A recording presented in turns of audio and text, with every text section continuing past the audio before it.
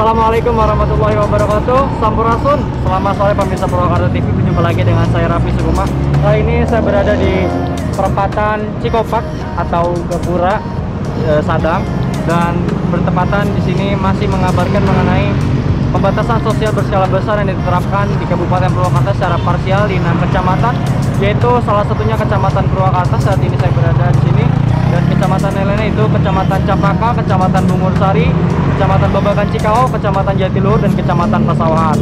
Di belakang saya sudah tercantum dan terpasang spanduk bahwasannya mengenai aturan eh, pembatasan sosial berskala besar yang ditetapkan di Kabupaten Purwakarta yaitu tercantum sesuai dengan Pergub Jabar nomor 36 tahun 2020 bahwasannya pembatasan sosial berskala besar yang diterapkan di sini yaitu khususnya di Kabupaten Purwakarta yaitu agar masyarakat untuk menjaga jarak antar sesama atau social distancing dan untuk tetap memakai masker.